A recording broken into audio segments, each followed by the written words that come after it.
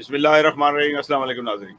नाजरीन 28 मई का का जब दिन आता है तो एक वही दर्दनाक स्टोरी जो सी है, वो सारी आँखों के सामने आ जाती है कि लाहौर की दो अहमदिया मस्जिदों में जो कुछ हुआ, एक एक ड्रामा रचाया गया अहमदियों का कत्लेआम करने के लिए। ये एक ऐसा वाक़ था कि जो पाकिस्तान की तारीख क्या मैं समझता हूँ कि दुनिया की तारीख का एक अनोखा वाक़ था। कभी भी कोई हुकूमत जो सी होती है या कोई, जो कौम के सरबराहान होते हैं, अपनी कौम को अपनी बेवकूफ़ियों से तो हलाक कर सकते हैं, अपनी गलतियों से बम ब्लास्ट भी होते हैं, हालात ख़राब भी होते हैं। पाकिस्तान में टेररिज्म का बहुत बड़ा प्रदान रहा। बेतहाशा वाक़ात हुए। लेकिन उसमें ऐसा नहीं होता था कि हुकूमत किसी को कहे कि तुम इस मस्जिद पे धमाका कर लो, इसको कर लो। तो ये एक वाक़ ऐसा हुआ कि दो अहमदिया मस्जिदों के ऊपर क्योंकि उस वक्त की हुकूमत शहबाज शरीफ की हुकूमत थी, और इनके ताल्लुक टी टी पी से बहुत अच्छे थे तहरीक तालिबान पाकिस्तान से। और उनके मुतालबात ये थी कि वो कि हम अहमदियों को नुकसान देना चाहते हैं। इक्का दुक्का अहमदी तो तो शहीद होते ही रहते थे। कि इज्तमाही तौर पर अहमदियों की, जुम्मे के दिन अहमदियों की की ज़्यादातर तादाद मस्जिदों में होती है। उनको घेर के मारना। पुलिस कहती थी कि आप जो सिक्योरिटी पे ड्यूटी दे रहे हैं, आपके पास जो असला है, आपको इसकी ज़रूरत नहीं है। आप ये असला वापस कर दें, हम आपकी हिफाजत करते हैं और वहाँ पुलिस वाले तैनात होते तीन, चार, पाँच पुलिस वाले वहाँ आ जाते थे इस तरह से उन्होंने वो असला अहमदियों से, नौजवानों से, जो सिक्योरिटी पे मामूर थे, उनसे वो ले लिया। दोनों मस्जिदों से ऐसे ही हुआ। लेने के बाद उन्हें कहा, जी, हम आपकी हिफाजत करते हैं और आपको असला रखने की ज़रूरत कोई नहीं है। दोनों मस्जिदों से उन्होंने असला ले लिया। इस अतमाद दे के कि जमात अहमदिया हमेशा जो सरकारी इदारे होते हैं, उनकी, उनका हुक्म भी मानती है और उनकी उसकी अतात भी करती होती है। ये नहीं कि पुलिस साहब ने कहा, नहीं, हम असला, अब, हम असला रखेंगे हम आपकी ज़रूरत नहीं है। ये ड्रामा हो गया, जिस वक्त जुम्मे का वक्त हुआ अचानक जुम्मे से 10-15 मिनट पहले पुलिस वहाँ से गायब हो गई, हमले से पहले। और दोनों मस्जिदों से एक जैसे ही हुआ, वाक्य हुआ। दोनों मस्जिदों से पुलिस जो सी है, वहाँ से गायब हो गई। और पुलिस गायब हो गई और और देखेंगे पुलिस नज़र नहीं आ रही थी। उसके तकरीबन अभी जुम्मा भी शुरू हुआ था, खुतबा। अचानक जो है, कुछ लोग, मुसल्ला लोग मस्जिद के अंदर दाखिल हुए और फायरिंग शुरू हो गई। गेट पे खड़े हुए जो खुदाम नॉर्मली ड्यूटी देते हैं, उनको उनको उन्होंने मारा, फिर अंदर घुसते चले गए दोनों मस्जिदों में और इस तरह से, इस तरह से उन्होंने कत्लेआम शुरू कर दिया। और ये कत्लेआम इतना संगीन था कि वो ना किसी बच्चे को देखते थे, ना बड़े को। उन्होंने बहुत नुकसान दिया दाउजिकर में जमात अहमदिया लाहौर के अमीर जमात, चौधरी मनीर साहब, शेख मनीर शेख मनीर अहमद साहब की की शहादत हुई। जो सेशन जज भी रहे हैं लाहौर में, इस तरह से बड़े नामी ग्रामी लोगों की शहादतें वहाँ पे हुई। और असलम भरवाना साहब की शहादत हुई दाउजकर में मॉडल टाउन में बेतहाशा ऐसे लोगों की शहादत हुई कि अगर मैं नाम लेना शुरू कर तो बहुत लंबा नाम है नाइन्टी फोर यानी कि चौरानवे अहमदियों की शहादत हुई और बेतहाशा जख्मी हुए। और ये एक खेल खेला गया, उसके बाद तकरीबन इस वाक्य के एक डेढ़ घंटे के बाद पुलिस आई है। पहले पुलिस जब आई है तो पुलिस बाहर खड़ी रही है। पुलिस अंदर नहीं जाती थी। और कहते हमें इजाज़त नहीं, अंदर जाए। ना उनको पकड़ने के लिए गए, ना उनको रोकने के लिए गए। उन्होंने आके, उनको पता था किसी के पास नहीं है। उन्होंने अंधाधुन लोगों को फायरिंग की और लोगों को मारा। आपको ने वीडियो भी देखी होगी। मैं अभी आपको वीडियो भी दिखाऊँगा, जो मैंने एमटीए से लिए मैंने हमारे चैनल ही प्रोग्राम की थी। मैं एमटीए की वीडियो भी आपको दिखाऊँगा कि पुलिस वहाँ खड़ी ड्रामे कर रही है क्रॉलिंग कर रही है, ये कर रही है, वो कर रही है, दूर खड़े तमाशे कर रहे हैं और वो ऊपर टेरेस खड़ा होकर फायरिंग कर रहा है। लोगों को एक एक चुन चुन के मार रहे हैं। जहाँ जहाँ एमडी छुप रहे थे, उनको मार रहे हैं। ये वाक्य इसलिए भी संगीन है और दिल दुखाने वाला है, उस वक्त के जो वज़ीर अला थे, उनके भाई ने जब को पता लगा तो उन्होंने कहा कि जी, अहमदी जो से हैं, ये हमारे भाई हैं, उन्होंने ये कह दिया। तो लोगों ने उनसे इतराज़ किया, उस वक्त के वहाँ के जो लोग थे, उन्होंने मतलब हुकूमत के लोग थे, उन्होंने कहा, जी, आपने बड़ा गुनाह कर दिया, इनको भाई कह दिया, आप इसके अपने माफ़ी मांगे। तो नवाज़ शरीफ साहब को माफ़ी मांगनी करी और अपने अल्फाज वापस लेने यानी कि कोई आदमी, ये बात भी, यानी कि इतना ज़्यादा, यानी कि तासुब था कि उस तासुब की हुकूमत के लोग कह रहे हैं कि ये आपने जिन्होंने बचाना था एमडीओ को कहा आपने इनको भाई को कहा ये तो अच्छा किया जो भी किया इन्होंने। ये तो एन और जिन लोगों को पकड़ के दिया गया दो टेररिस्ट पकड़े वो एमडीओ ने पकड़ के दिए। और इन्होंने कहा जी पुलिस को इन्होंने फटाफट इनाम दे दिए पुलिस ने दो टेररिस्टों को पकड़ लिए ज़िंदा। यानी कि ये इतनी दो नंबरी इन, इतना ये शबाज शरीफ की हुकूमत थी और राना समझेगा राना सनाउल्ला उस वक्त भी जो सा था, इनका सूबे का इंटीरियर मिनिस्टर था। वक्त जो है और उस वक्त सलमान तासीर गवर्नर थे, वो आए भी, मस्जिद भी आए, अफसोस करके गए वो। लेकिन गवर्नर ने क्या कर लेना था? वो गवर्नर के हाथ में नहीं होता, वज़ीर अला के हाथ में होता सारा कुछ। तो ये सिर्फ़ उस इस वाक्य को याद कराने की है कि ये पाकिस्तान की बदकिस्मती है। आपने अहमदियों को शहीद किया और बकायदा अच्छा मैं जो बात कह रहा था ना ये अनोखा क्यों वाक्य है? ये अनोखा ही वाक्य है कि बकायदा हुकूमत ने स्पॉन्सर किया उन लोगों को मारने के लिए।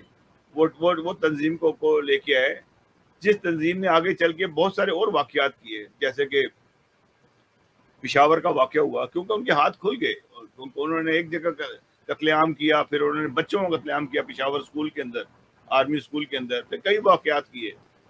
ये तमाम लोग जो हैं, ये ये पालतू लोग होते हैं जिनको हुकूमतें पालती हैं। ख़ास तौर पे शबाज शरीफ ने ये ये लोग पाले और उसने उसने ये अपना कारनामा उन्होंने अंजाम दिया। फिर हाथ खुलते गए एमडी को मार लिया। और कितने मारेंगे एमडी? फिर उन्होंने दूसरों को भी मारा। अहल तशी की मस्जिद, मसाजिद के ऊपर हमले किए, उनको मारा। कई लोगों का तो ये वाकयात बढ़ते गए। क्योंकि वो वाकया जो थे, वो बच्चों को मारा, कि आर्मी जो थी, ऐसे लोगों को मार रही थी। इन टेररिस्टों को। तो उन्होंने आर्मी के बच्चों को मार दिया कि बच्चे काबू आ गए उनके। इस पिशावर में जाके वो बहुत ही तकलीफ़ से वाक़ हुआ। जिसकी मजम्मत की है, कम है। तो मेरा सिर्फ़ आज का प्रोग्राम मैं इसलिए कर रहा, मेरी कल तबीयत ठीक नहीं थी, मैं कल नहीं कर सका। मैं सिर्फ़ इसलिए प्रोग्राम ये कर रहा क्या कि ये 28 मई को हम भूलते नहीं हैं कभी भी।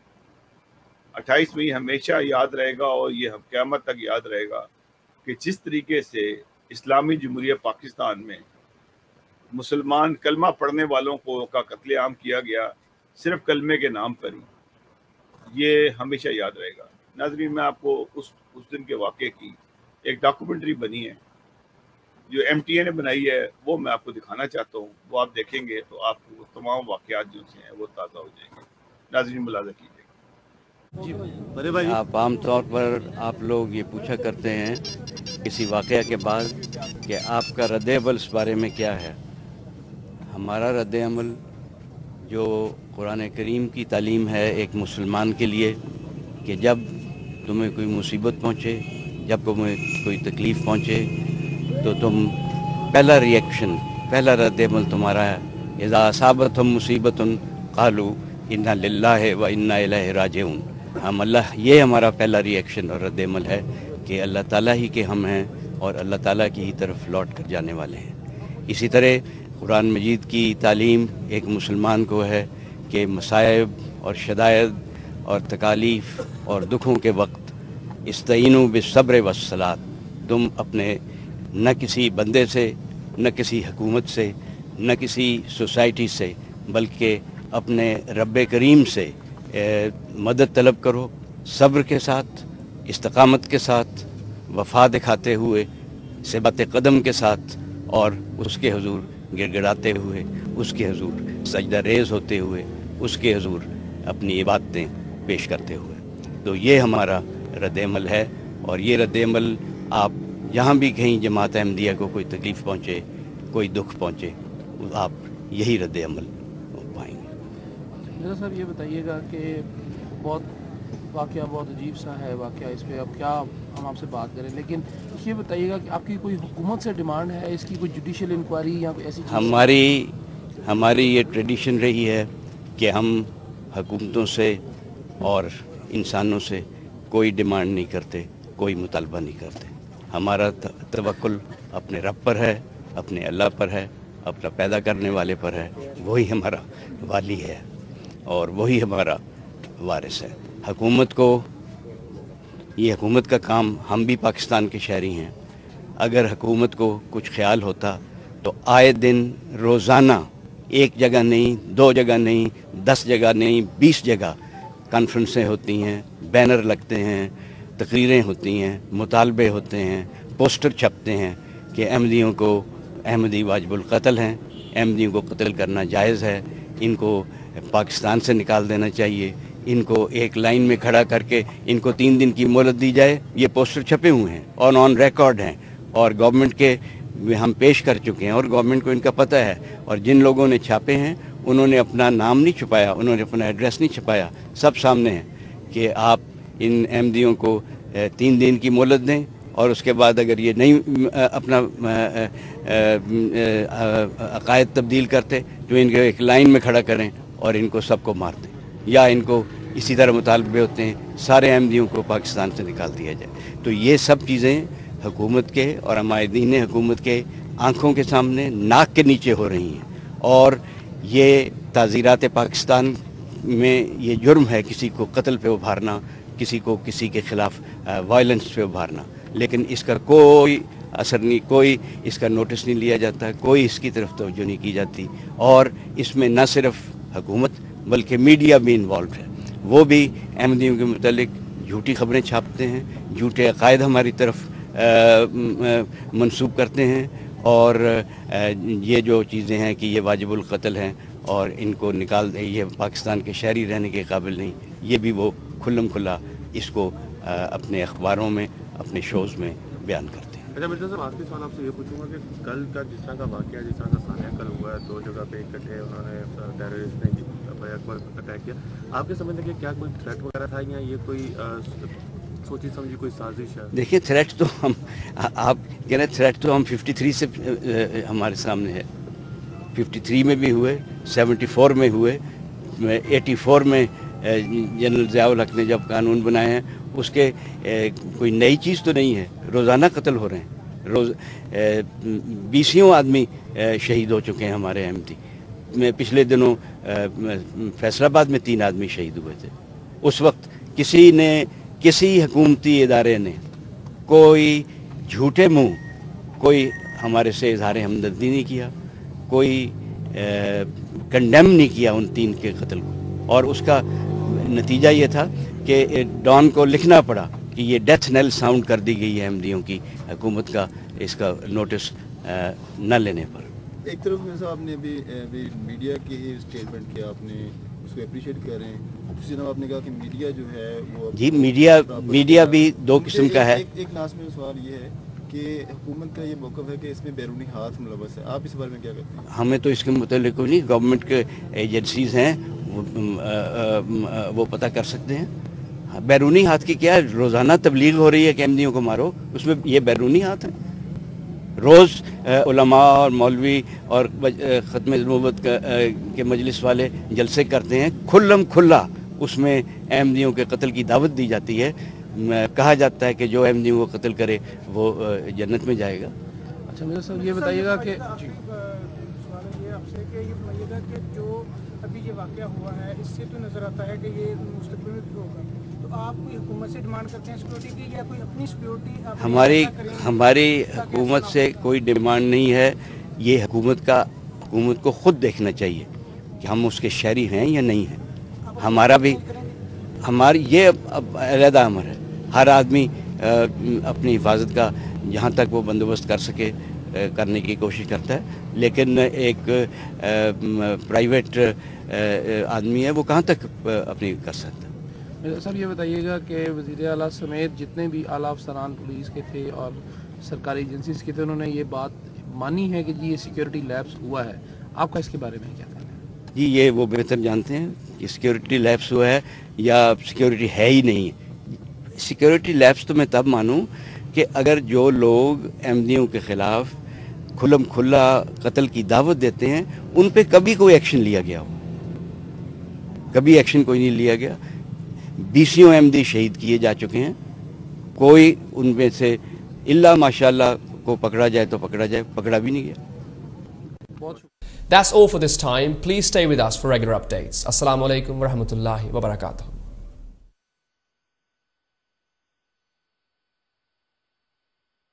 गुजारे थे सजदे जहाँ अब लहू है ये मंजर ही ईमान की आबरू है।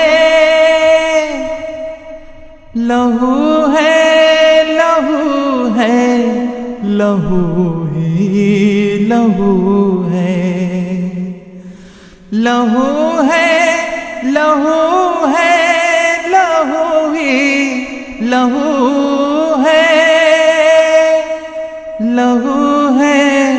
लहू है, लहू ही लहू है। लहू है लहू है, लहू ही लहू है। लहू है लहू है, लहू ही लहू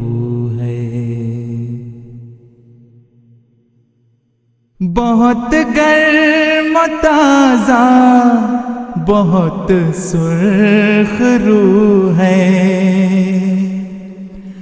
जरा जालिमो इसको छू कर तो देखो। यही थी कमाई यहाँ उम्र भर की। गवाही बनेगा यही खून सहर की। गवाही बनेगा यही खून सहर की। गवाही बनेगा यही खून सहर की। है, लहू ही लहू है। लहू है लहू है, लहू ही लहू है। यही खून इस काम के आबरू है। यही खून इस काम